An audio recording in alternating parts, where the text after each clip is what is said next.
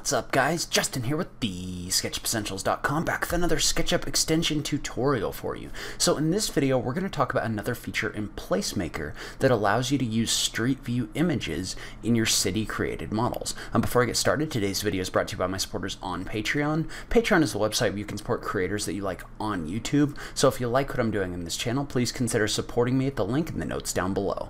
Now let's go ahead and just jump into it. Alright, so to start off, Placemaker is a paid city creation extension. If you are interested in downloading and checking out Placemaker, um, you can check that out at thesketchupessentials.com slash placemaker. I will note that that is an affiliate link. And uh, basically the way the Placemaker works, and I'll link to some tutorials in the notes down below, is it basically allows you to create a city in a single click. So for example, this is Denver, Colorado, and uh, I created this earlier this morning just by clicking, and uh, there's a button in here.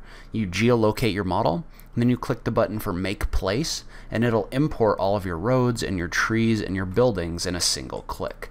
And there's also some high resolution imagery and other things, but in this video what I wanted to focus on is what's called tour mode. And so basically what tour mode does is it allows you to navigate to a point in your model, like let's say I wanted to navigate down on this street, then you click this button for Placemaker Tour, and what this does is this actually finds a street view view associated with wherever you're at from a geolocation standpoint. And this works on, I believe, any geolocated model. But you can see how what this does is this actually syncs your view up with Street View so that you can see actual images of the location that you're at.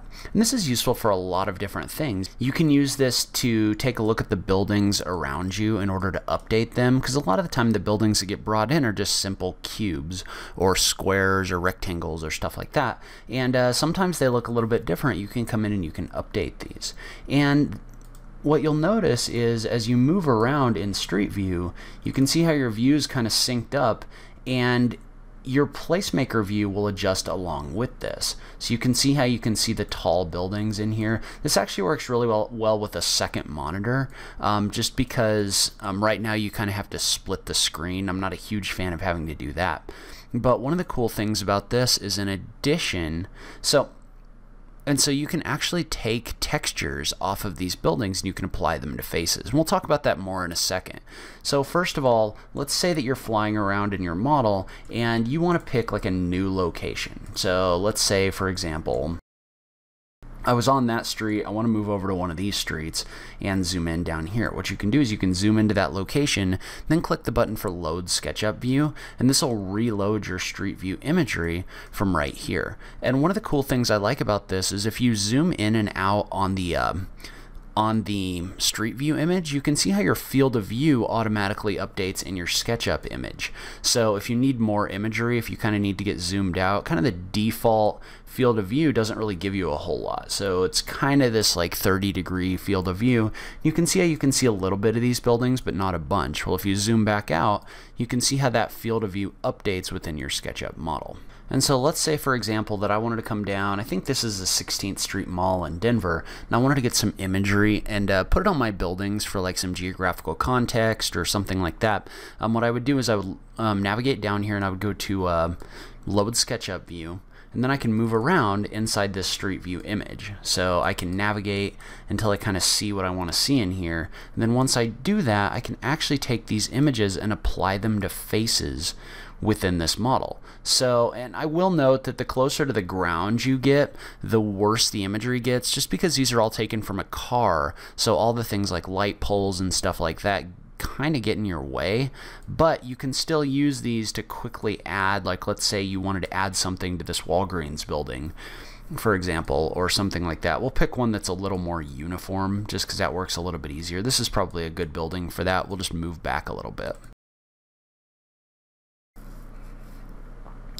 All right, this will have to work. So the first thing I'm going to do is I'm going to turn my tree layer off because they're kind of in the way. So I'm going to go to my layers and uh, notice that Placemaker puts these all on a layer so I can just turn the trees off. Well, now what I want to do is I want to take this texture and I want to apply it to this building. So the way we're going to do that is we're actually going to come into Placemaker and we're going to double click on this face and you're going to find the face that you want to texture using this image. And you may get a little distortion here just because of the uh, angle that we had to do with this but we'll see what we can do with it.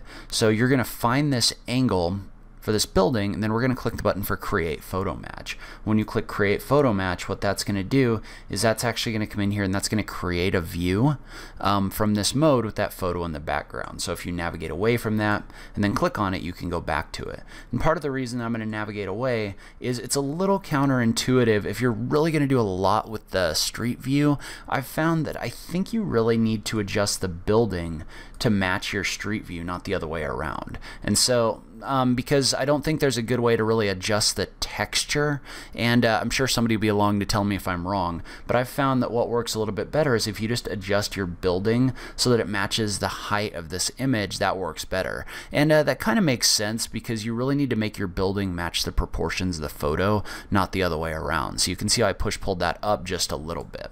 So now I can click on this and then what I'm going to do is there's a button down here for project textures on selected faces. And so if I click that button, what that's going to do is that's going to take that texture and that's going to apply that to this face. And now I'm going to zoom out just a little bit. I'm actually going to change my field of view using the magnifying glass and I'm just going to hold shift and click and uh, we're going to change our field of view to something more like let's say 50 so that'll just kind of remove the distortion then all you need to do is you just come in here and you just right click and you can use the position texture tools in order to adjust this so that it fits on the face.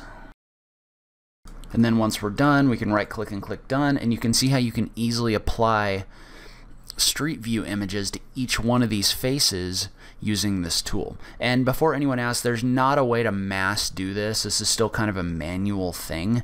So I wouldn't suggest trying to texture the whole city, but you have, if you have a certain area, like if you're doing work, let's say in this block, for example, and you need to texture a few buildings, this could be a great tool in order to do that. And one thing to note about that is when I push pulled this up, none of the rooftop equipment or anything moved with it. So it is a little bit of a trade-off um, trying to apply this to this face but overall, still a great tool for modeling geographical context. So that's where I'm going to end this video. Leave a comment below and let me know what you thought. Um, how are you creating geographical context models? I just love having that SketchUp conversation with you guys. If you like this video, please remember to click that like button down below. If you're new around here, remember to click that subscribe button for new SketchUp content every week. If you like what I'm doing on this channel, please consider supporting me on Patreon.